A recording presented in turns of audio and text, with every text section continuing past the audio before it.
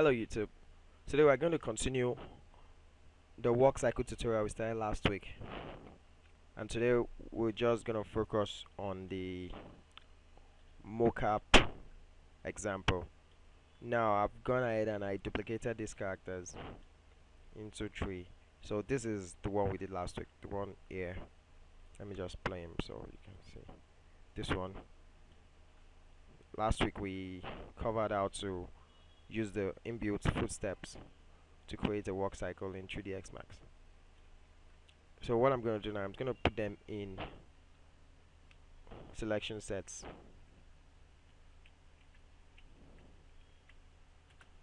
So by doing this I can easily hide the entire hierarchy and the mesh. So I'll select this one as well. I'll call this keyframe so this one we'll, be using this one to create the keyframe walk cycle for our character in our next tutorial.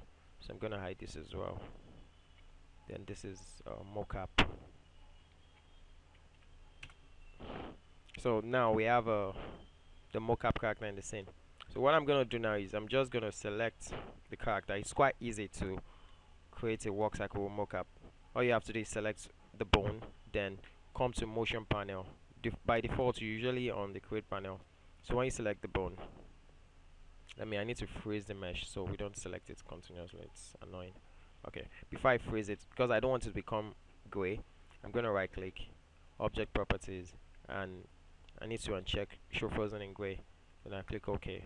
Now I can freeze and my character will remain we keep showing the normal texture maps and all. So now I'll select the bone, any any bone in the scene. Then I'll go to my motion panel right here. Next, I'm gonna click this folder icon. You can see right there.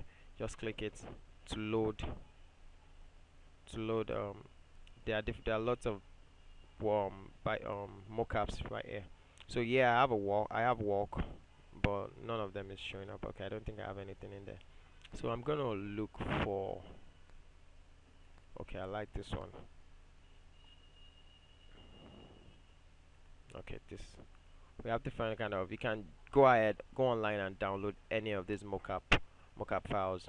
There are a lot of free mocap files online. You can get your hands on them. Or you can create your mocap files yourself by using a Kinect or using a motion, motion capture suit. Okay so I'm gonna open this one. And the moment I open it a character snaps. What the motion capture data does is when you record a live action a live a live action with your Kinect or using a mocap suit, it stores the data. And you can save it as a BVH file or STP or VI, um, BIP so what I use here is BIP because biped uses BIP biped. So I used biped and there is a way you can also convert a BVH to a biped but we won't be covering that in this tutorial. All we are doing here is just walk cycles. So that's how easy it is to use create a walk cycle in 3ds max with mo motion capture data. You can see this character is working so so so cool. It's working like a model actually. So so for instance let's say we want to adjust this character. You can see there are lots and lots of keyframes here it's impossible to work with. You can't go ahead and start picking. So the solution to such is let's say we want our character to um, let's say let me look at the walk cycle again. Let's just do something okay.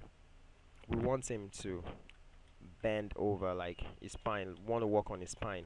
Maybe he's tired or something like he's just okay now what we have to do to get that done is select a bone any of the bone uh, like I said before then just go down to layers. We use layers in the last tutorial as well. It's um, I'm not really going in uh, in depth. I'm just scratching the surface. So right here we have create layer. So I create a new layer. I can name the layer. I can call it spine. So by doing that you can see the, the red outlines. That's showing us that we add a layer we have a layer below and the new layer now whatever we do on the new layer just overwrites what's below. Not like it erases it, it's just more like uh, it's ma is the master. So let me put it that way is the master. So I'll switch on my auto key. I can press N or I'll just click it right here.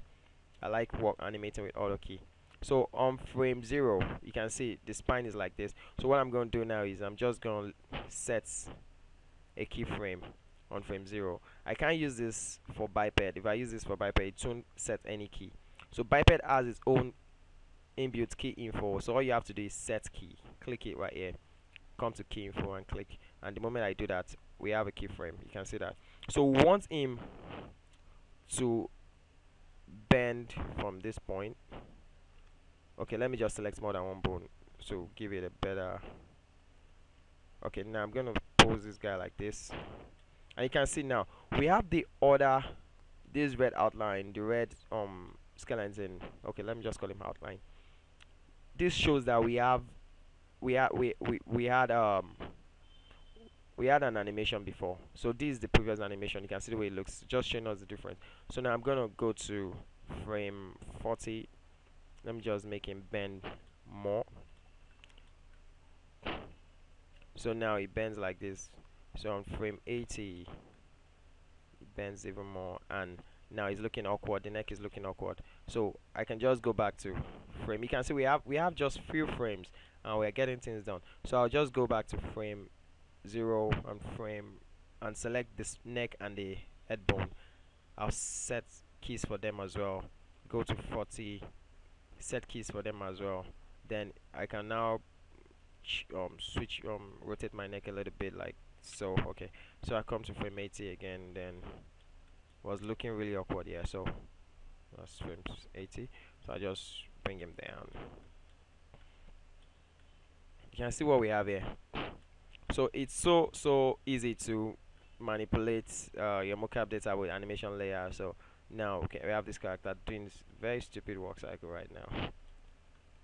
But I just hope you get it. It's so so easy to work with a mocap so another issue you might have so now you now understand how to um, edit your mocap data like you want to put an animation on it you want him to have a distinctive walk cycle like you want him to work differently. Maybe he's bending like this guy or want him to swing his neck often or you want him to just snap his hands to the side. You can do whatever you want with the animation layer as long as it's above the previous layer. Now if I go down you can see this arrow if I click previous layer it just snaps back to the whole animation so now we don't have the red outline anymore because this is the original. So now I can just you can see original right here. You can rename it as well. You can rename this as well. So I just switch back to the next layer which is the layer above. So now that's the spine layer. So another thing you might face when working with mocap you can see our character was actually created at this point. Let me switch off auto key and go back to my figure mode. You get what I'm saying now okay so before that you can see we can't access our figure mode anymore because we are on the new layer. So we need to snap back to the old layer. Just click previous or go back and switch to active something like that. Now we have a we still don't have it. Let me switch back on switch go back to original. Then I'll switch. You can see what if we want our character to start from here? Maybe we want him to to walk into a room from here and the character I was just walking towards the side. Trying to key him to walk to this um to, to this position would be very very hard. So I'll switch back to the animation. I'll switch on my animation layer. I'll go back to spine. So what I'll do is to move this character easily because now even if you try to key him let me switch on my auto key. If you try to key him to this position it's that's that's a lot of stress it actually took me a while to figure this out. So now like this let's say want him to be like this then you can see it's so so so annoying. It's not making any sense. So that means you you're gonna have to like make him snap like like this. Let's say we drag this keyframe there are a lot of ways but it's not it's still not working. Let me delete those keyframes so what I what, what I would advise you do is when you want to position your character in such a manner what you do is you just click on this button right here. This one is called the move all mode. What what it does is you can actually position your motion capture anywhere you want. So I'll just move him. Mm, the guy's not moving. Okay. I'll just I'll go back to I'll switch down to my and so I'll move him. Mm, I want to see this checkbox. So so I'll just align this guy like this okay? Then I'll move him to the center where I want him to start from. So you can see you will see this actually takes over the entire frame. Not like it's only happens like we're not setting keyframes now. But the fact that I use this move this move um this tool right here this move all mode it moves the orientation of the character. So now it changes the orientation of the character rather. So when I play the animation the character just walks to the direction I, I want him to walk to. You can see how powerful that tool is. So that's how you uh, manipulate uh, mocap data the walk cycle and do whatever you want with it. So now we, after we've moved it we can just go back to the layer that we worked on. Just you can see? Now we're doing our thing a weird walk cycle. So that's it for this week. I hope you I hope this tutorial helped. And um, don't forget to check out my other tutorials animation tutorials you might if you like this video give me a thumbs up. I would love it. And don't forget to share in case you have someone who wants to learn 3ds max. I give tips regularly so th th this will definitely come in handy somehow if you're into animation and you're using the biped biped is actually very powerful too so hope to see you guys next time. Bye. Have fun